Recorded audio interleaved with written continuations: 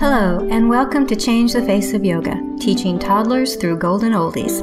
I'm very excited to be talking to lots of yoga teachers who will explain their passion for teaching yoga to students with different ages, physical fitness levels, wellness levels, and different goals. They will explain the benefits of yoga for these students and will be including teacher tips and pose modifications. I am Stephanie Cunningham of Yoga Lightness, and I've been teaching over 50s for 10 years. So, this area is my passion and the passion of many other yoga teachers that you will be listening to in this series.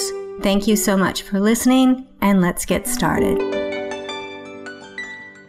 This is Changing the Face of Yoga, and this is episode 126. And my guest today is Lisa Holland. This is part of the, the theme of support for yoga teachers, yoga therapists. And Lisa is very experienced having worked within the medical field as a physical therapist. And she has some ideas about working in that field and what so it's just how you position yourself in this area. So welcome Lisa. I'm really excited about this particular interview because I I think it's it's quite unique. Could you just give us a short bio that will kind of introduce you to the listeners? Yeah, sure. Thank you, Stephanie, so much for having this theme. Um, I think it's important that we we start thinking about, you know, yeah, you, you want to have sustainable business if you want to help people you know you gotta you gotta make mm. sure you stay in business.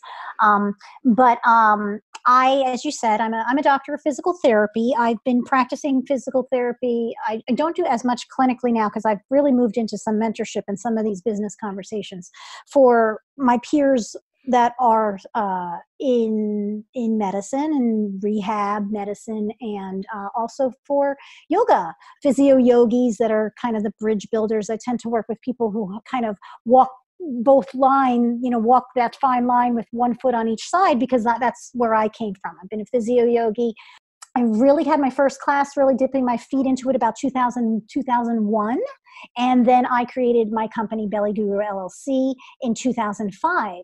And I did that as a model that, it, you know, it was one of the first medpreneur type of health entrepreneur, boutique clinical slash wellness center, well positioned, direct to market. I did not take any insurances. I did not step into that. I, I was leaving that uh, for very important reasons. Number one, they weren't accepting of yoga back then. That was 2005. And I really had seen that as uh, a very helpful therapeutic modality and it aligned with what I had done in orthopedics and sports medicine prior to my move to women's health, which was uh, in that realm, you were really working a mind body thing. You, you, you knew that they needed to keep their head in the game, and you saw the detriments of that in their phys. No matter how physically able they were, put together, fixed up, patched up, if their head was out of the game, if they were feeling injured mentally, you saw that performance. And then I went over into mainstream, you know, rehabilitation medicine and that was like oh forget about it you know like you know it's, it's as if they were two you know it was every body part everybody part everybody's part for themselves and every person's discipline for themselves and and it did not overlap. So my migration of of over into yoga as my main modality uh, for restoration started out physical in as much as you know i think every physical therapist that you know goes into that much more than let's say the psychologists that go into that they go a lot more mind approach. But my approach was always very holistic was very always mind and body and it really gave me a vehicle. And so i evolved in that. I naturally became a mentor for other people doing that. They were asking me questions. So i decided hey if they're going to ask me some questions and i'm not going to be seeing people and i'm talking on all these facebook pages and giving advice i need to start you know uh, getting supported for that because i actually really liked it and i knew a lot of stuff and i could save them years. I mean pretty much right now i have a five day excel accelerator that you know took me 16 years to learn. You could do it in five days. So i'm, I'm, I'm trying my best to um, broaden uh, the physical therapist minds but they're very you know they have a lot of legalities and things and, and there's a lot of fear in that mentality. I think the yoga teachers and yoga therapists could really learn from their mistakes and one of the big things i see right now in having been one of these bridge builders uh, in the International Association of Yoga Therapists, trying to bring a conversation for that line of health providers that don't necessarily want to hang up their you know clinical to become you know a yoga therapist or a yo- full-time yoga therapist or a yoga teacher. They actually want to combine it. But what i saw is that we're, we're kind of walking down the line here in yoga therapy. Number one calling ourselves yoga therapists when we can actually can really fit into the market positioning ourselves in a little different way. And so uh, i've been out there having that conversation. I uh, now have an integrative uh, I actually, even more than a health coach, which is what I was trying to bring in, when I went into health coaching, I really saw that was actually still a very clinical conversation. And more of what I do is what I was taught in yoga, very traditional Raja, Hatha, um, you know, the holy science of yoga is I change, I help people change their lives. I'm a life coach. And uh, I, I do that in various leans towards you know more rehabilitation versus um, personal development depending on the person.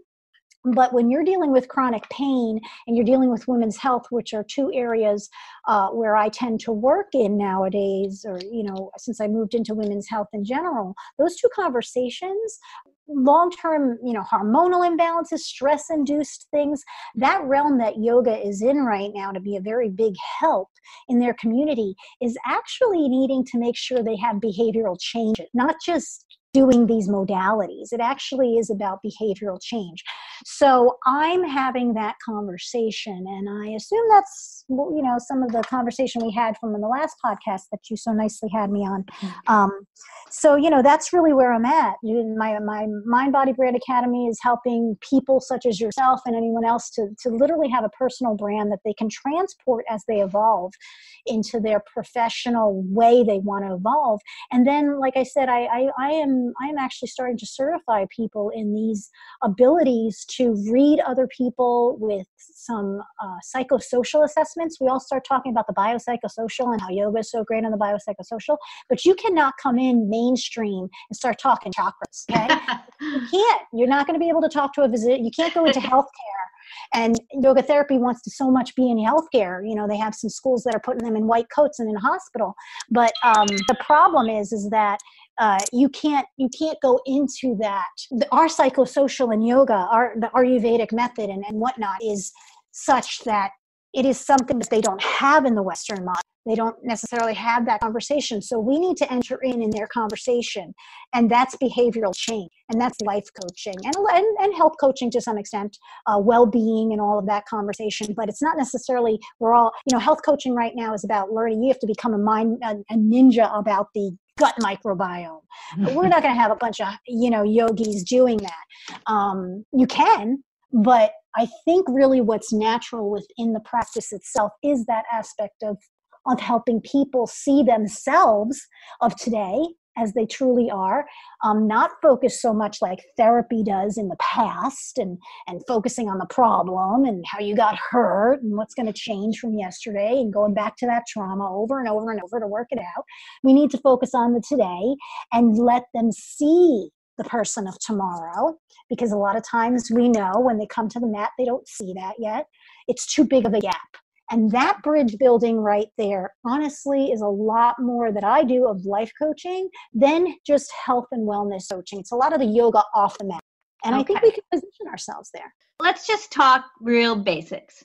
You've kind of evolved since the last time we talked because you were talking about mm-hmm. health coaching, but now you kind of evolved into more of a of a life coaching. So what would you say are the major differences between being in a clinical position, whether it's physiotherapy or it's yoga therapy or whatever, therapeutic, as versus a life coach? Well, I think probably what you heard is I, I, I feel I am a health coach. I just feel like, you know, um, they're not they're not really two different things. It's just my definition of health and well-being uh, involves your life and uh, you really can't split it up just like you can't split up the mind and the body. You're only going to get a piece and you can't get behavioral change unless you change what's going on with someone's perception of themselves and their life because you can't get them eating organic and vegan if at home that's going to be a really big problem no matter how much they believe you. So the real differences i see between health and life coaching is is again the, the clinical concentration. While life while health coaching will bring in behavioral change you are through the process um, because of their desire to work in a very allopathic still model. Um, you will uh, see somewhat of a diagnostic needing uh, some sort of a, a, procedure for certain diagnostics, lots of testing, um, a lot of focus on the gut microbiome and digestion and assimilation there. They do talk about stress, but a lot of stuff will end up working in diet. And so it looks a lot like Ayurveda consultants. I think we have that already, right? We have Ayurvedic consultants, we have Ayurvedic physicians, we have Ayurvedic practitioners. Those aren't necessarily always uh, yoga therapists or therapists in general or, or life coaches taking somebody and telling them what to do for a certain pathology is very different than actually walking them through change. And so the life coaching side and the conversation is how do I actually deal with change? That's not necessarily what do I do to my body or my diet or my sleeping. How do I actually deal with change? I would assume, though, that any clinical intervention assumes that you're going to change. you're going to do some more stuff, or you're going to do less stuff, or you're going to do different stuff, but you're going to change. So, is it just that the clinical is very focused on a specific thing, whereas the the coaching is more holistic? Uh, clinic clinical work or therapy work is focused on fixing something a healing per mm-hmm. se. Coaching is focusing on process. And the real difference is that in a therapy, both of them will be healing, okay? Both of them will be change. And and yes, I agree. It's it's assumed, but that doesn't mean you can do it. Because we all know with the science right now, we sometimes have literal changes in our biochemistry and our brain chemistry that have been caused by repetitive traumas or we have you know we have injuries and, and, processes that are not working anymore in the gut microbiome or we we have uh, you know we really literally need to change the biochemistry again. So as much as we might want to sometimes we need to be coached through that. In a coaching relationship it's who's in charge versus a therapy relationship therapy is about me being the expert and me taking all of that evidence based medicine and me knowing a protocol and me figuring out what you need and then pulling down that protocol and sort of adapting it to you. And that is me in charge of, of, of the game, really. Even if I say client centered, it's not like I'm sitting there and and I'm like, okay, so we can do, and some people do, and they try to expand it and they try to have more of a, of a, of a client centered approach and they say, well, there's this test and this test, which one do you want to do? In a coaching relationship, you really are not one in charge. You're, you're, you're there to be a witness and a guide to their process. You say you are the healer. I am not the healer. You are the healer. I just know stuff to maybe make that process a little easier to digest. And I might be able to give you some resources, but I'm not even necessarily being the educator. A lot of therapy is educating people, a lot of therapy is treating them, doing things passively to them, or setting things up. A lot of coaching is uh, holding up a mirror and, and asking them to see the truth in the matter and then creating a, a, safe environment for them to do that to to self-reflect and to get their own answers mm-hmm. that's the biggest change between yeah. therapy and coaching what are the benefits of therapy and then what are the benefits of coaching to the client Great question. Thank you, Stephanie. Uh, the benefits of therapy are that the best thing would be if you had skills in both. and could sort of walk between it because there's always this pandora's box if you're being really creative right and and being very effective and there are times when it becomes a need for a therapeutic alliance and there are times when it needs to uh, maybe be moved over to a more autonomous coaching alliance the benefits of of, of therapy are that there are things like I can't do for myself. There are there are things I don't know. I can be a little bit more passive. I could I could give over a little bit of, of, of needing to take the lead when I'm very stressed on something to someone I trust, like, and know. The coaching is actually much harder. coaching coaching is something which is why there's not a lot of people that can sell it well because you are, and you need to have a person at a level of readiness for change that they may not be at. Whereas therapy, I can literally have you there passively knocked out and I could probably range your leg, or I could have you literally on your deathbed and help you in some way feel less pain or strain or stress and, and, and take you through my process and, and that might be very helpful for you. But if i'm working towards being autonomous if i'm truly sitting there saying why can't this person have compliance? Why don't they have self-efficacy it's very hard in a therapeutic alliance to say, Here, I'm the expert, I know this, do this, and then sit there and say, Why isn't this person independently making their own decisions to heal their own life? It's a it's a it's a different mindset. Whereas in the the the, the benefit of coaching is that that's the relationship right off the bat the person's coming in understanding this is going to be more of their work than my work. So let's take it the other way. What are the benefits of both of these mo- these uh, the coaching and the therapy for the the therapist. Why would they change from being a therapist to a coach? They would change when they see the limitations of therapy. Therapy can only take the person so far or at least that's my belief in terms of really truly taking self ownership of their life and and and and feeling transformed through the process. I do not believe that uh, therapy alone transforms people. I think a conjunct care plan that involves some sort of coaching before the person leaves is is really where the transformation is going to occur. I believe a band aid is given in therapy. I believe a crisis is overcome in therapy. And I believe that if the person has enough self efficacy already to take that ball and run with it, they will end up coaching themselves through uh, a transformation through that process, such as, let's say, somebody is healed from cancer, you know, things like that.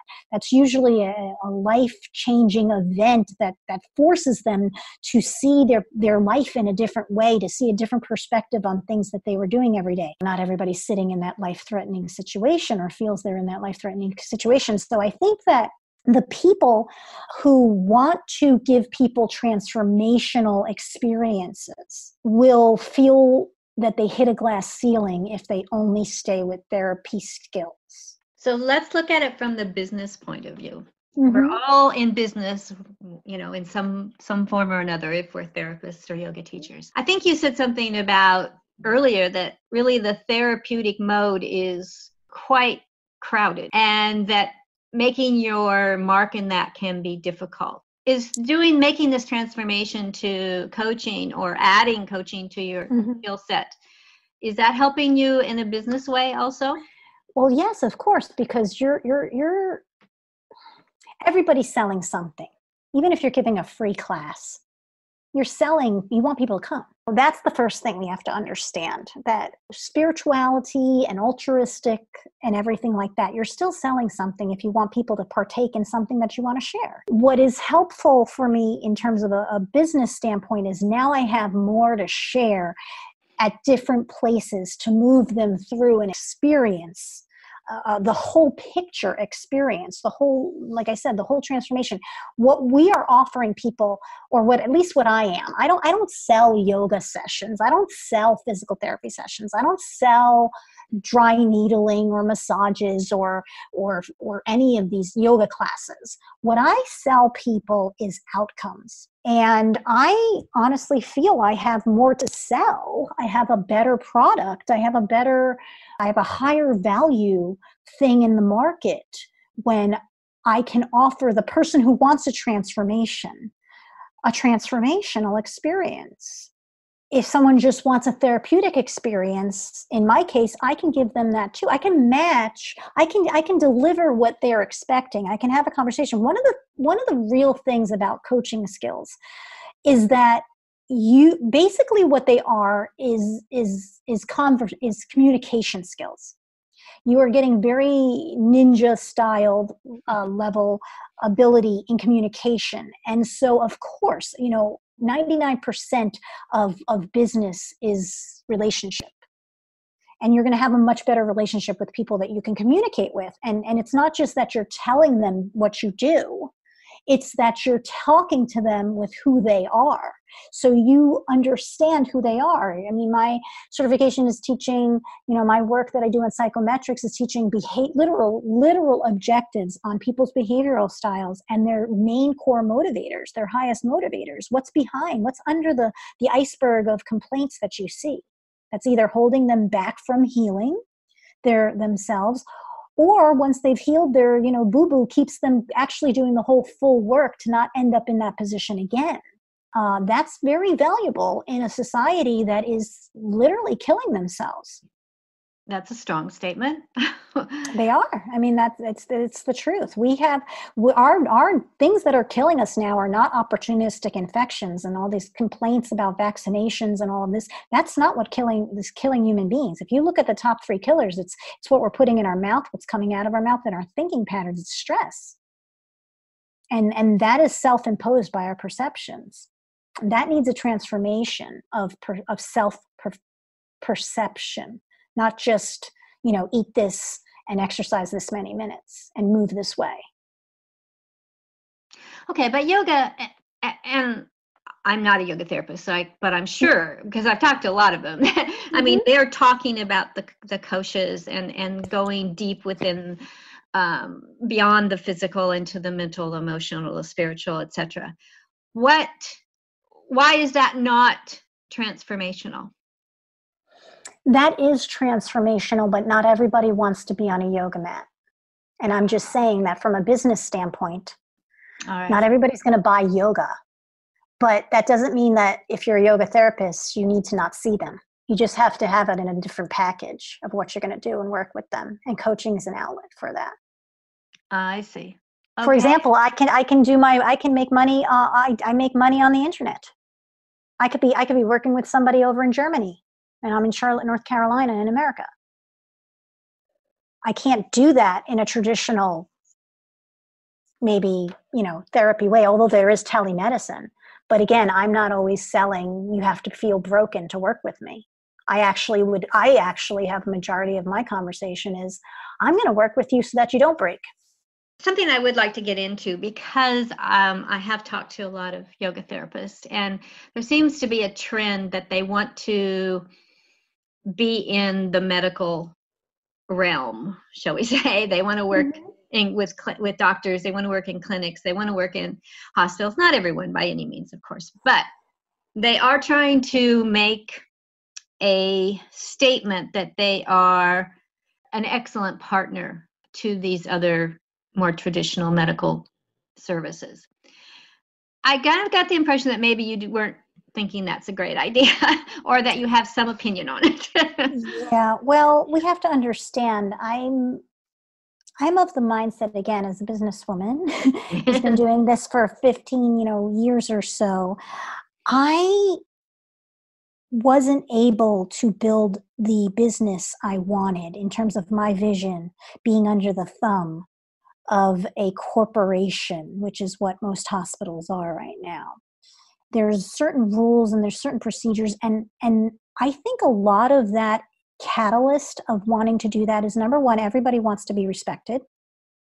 And it's very prestigious and respectful you know putting on that white coat and and, and, working with doctors and nurses and, and, therapists and things like that my concern is that they're looking at it as the silver lining of, of, of self validation that actually is going to. What they don't realize is that right now, uh, medicine is is is very hospital centers make money off of getting staff who can do certain things for less money and they're also into and as, as much as we want to help and we can i 100% agree that we are a great as as yoga therapists with that yoga therapy hat on it's a great complement to physical therapy. That's why i started to combine it. It's a great complement for uh, someone who's you know in digest you know having major digestive problems and they're you know they really need to vagal down train and you have this way or, or somebody sitting in a bed disabled to you know work on breath and self perception and and that be very transformational for them help build you know we have research taking them out of depression and this and that with without all the consequences of, of pharmacology induced uh, support. So that's not what I'm saying. What I'm saying is, I'm not so sure we're in a position uh, of the people because of, of the difficulty historically I've seen in just caregivers in any any profession that has a predominance of women in in in any uh, altruistic type of really heart led mission driven type of people, they tend to be taken advantage of, and there are people taking advantage of them right now who are billing under their codes, basically bringing them into their centers so that they can get more money. But they're not, you know, and but they don't have to pay a physical therapist, so they'll pay a yoga therapist. It's not that they necessarily believe; it's just that they honestly don't respect either of them enough to think that there's a difference. So there the, the theory is there and it's, it's very good but we have to be very careful that we're asking for what our value truly is and not just replacing the fact. I mean i got to tell you physical therapists right now if you're on acute care you're not even a billable service. You're getting people out of the hospital and moved out into the next thing but you're kind of like in this whole overall payment system at least here in america where you know, as far as physicians and everybody's, and as far as corporate is concerned, acute care physical therapists, they're not getting, you know, they're just rolled into the whole thing. They're not seeing you as your own valuable service.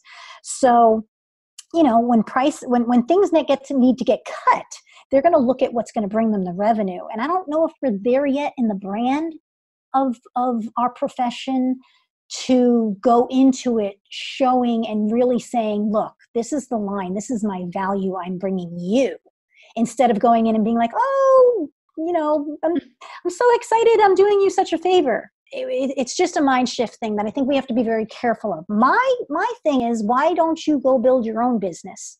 And if they really value you and you market well, then they should be by by ethics sending people to you and you can get paid way more because you have no ceiling in your own business. That's my thought. I think it's good because I think looking at it from someone who's worked through this system in a slightly different position is good rather than just kind of taking on wholeheartedly, oh, this is going to be really good for me and I will be validated if I get to work with doctors and in hospitals and stuff. Yeah, we so, just have to check it. We have to practice what we preach, right? We have to make sure that if we're going in there, we're not going in there in that sort of wounded, wounded healer model and and needing that. We go in there because we are changing healthcare.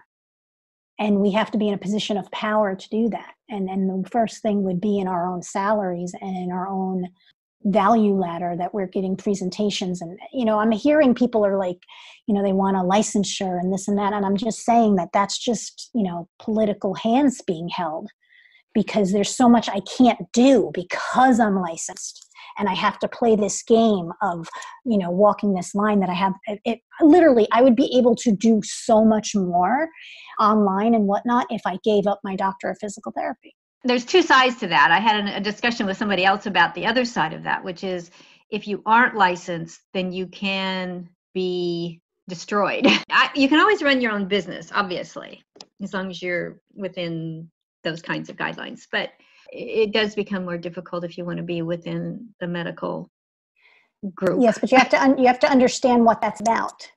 It's yes. because they can't make as much money off of you unless you are a licensed provider. They could still respect you.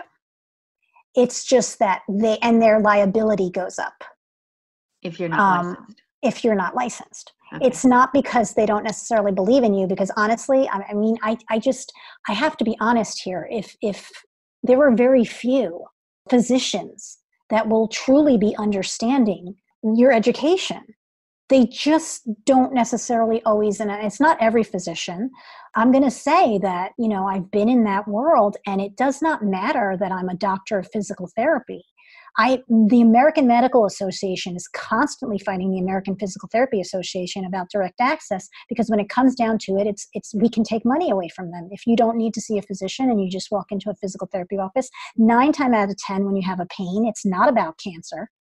And we actually have the skills to make sure that if it looks like cancer, we send them to you, but it's who's getting the money. We do need standards. We do need some sort of regulation because everybody's, you know, everybody and their mother's taking a weekend course on yoga for back pain and deciding they're a yoga hmm. therapist. And you're not. We have to be careful of why we're getting a licensure and what that will entail. Thank you, Lise. I was pretty sure this was going to be a really great discussion, and it has been because I think you're just saying, hey, stop and think about where you want to go and what you want to do because you may be been selling been sold a, a bill of goods that's not great because it sounds good. It sounds like what that you'll be respected and that you'll work with clients, which is what everybody wants to do. There, th- these are helping professions, but um, I just thought I just I love the way you think about it because you have all this experience behind you. And I think it's important at this point where our, there seems to be this rush towards being part of the medical system that maybe we need to think about it. Or it's not me. I, I do podcasting. so, yeah, yeah, yeah. But it's it's if if you're thinking that way, then then you know you might want to. There's there's a reason that there's so many medpreneurs now that there's so many masterminds that there's so many cash-based pt practices and rehab centers and, and functional medicine doctors. I mean we literally have a whole new profession of functional medicine a new philosophy. And most of those people are not taking insurance and most of those people have left the allopathic confines not totally. I mean they're still practicing you know medicine they're but they they they've tried to make a path where they could give the care that they believe needs to be given in the way that it's being given it's the way it can be given. And we just need to look at that. That's all i'm saying is you just need to see the whole picture. I think i think yoga therapists should really seriously consider being more along the lines of the functional medicine conversation than the allopathic medicine conversation. And they should alliance themselves with functional medicine doctors because those guys get it functional i mean i'm a functional you know physical therapist or focused physical therapist. That's that's all those health coaches they're all functional medicine. None of them are sitting in there. Those are the registered dietitians that are still sitting there talking about proteins you know fats and carbohydrates and, and giving you a formula like that that's not going to heal you. The functional medicine people are the are the health coaches and and functional medicine docs and functional medicine therapists and, and all of that. That's where i think people who are serious about being significant and maybe having some power in how they make their money as well as how they're impacting the world need to go where medicine's going and it's going towards functional medicine. Give me a quick definition of functional medicine just so functional yeah functional mm. medicine is honestly it's to be perfectly honest it's the uh, medical doctors who saw what the naturopaths were doing in the ayurvedics and life, lifestyle medicine. It's the approach of lifestyle uh-huh. medicine. It's just that it you have a um, it's open. What's nice about functional medicine is it's not uh, profession specific so you don't have to be an md there's there's dcs and pts and and rns and whatever. It's a philosophy So it's it's it's it's a blanket philosophy which is focused on lifestyle medicine and all the contributing factors into why your body is out of function. It doesn't necessarily wait until you're in a diagnostic disease. So if they take blood work, let's say your vitality is down, they're going to look at a much broader screen of your thyroid and your metabolism and all of this stuff than maybe a traditional allopathic medicine person would because they're just looking at your numbers to see when you've crossed the line and you're officially able to be diagnosed with disease. Functional medicine is going to say, why aren't you feeling well? Let's look at the whole picture and let's do a broader scope and see if your T3 is converting to your T, you know, your T4 is converting to your T3 properly and where this might be an issue.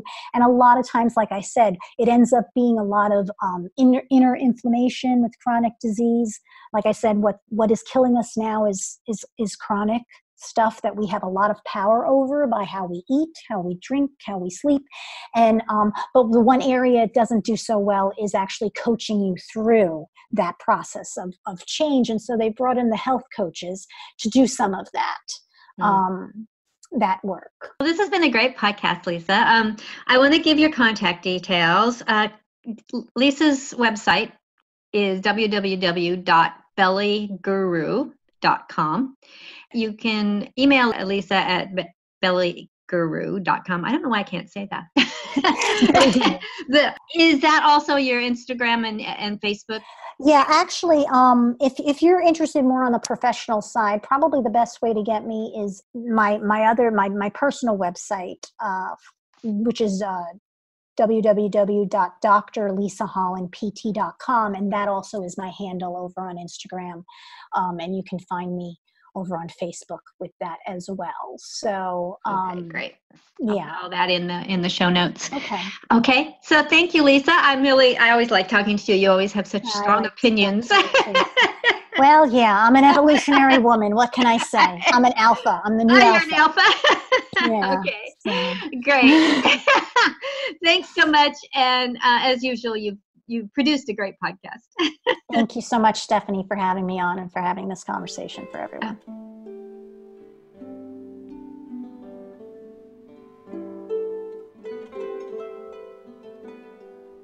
Thank you for that wonderful interview.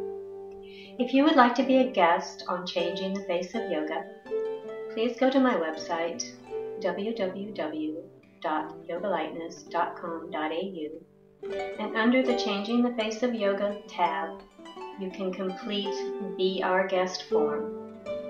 After reviewing the form and finding it applicable to this podcast, we will send you a link to schedule an interview. Please download, review, and tell your friends of any podcasts that are of interest to you and to them. If you would like to contact me, send an email to info at yogalightness.com.au. And thank you for listening to Changing the Face of Yoga.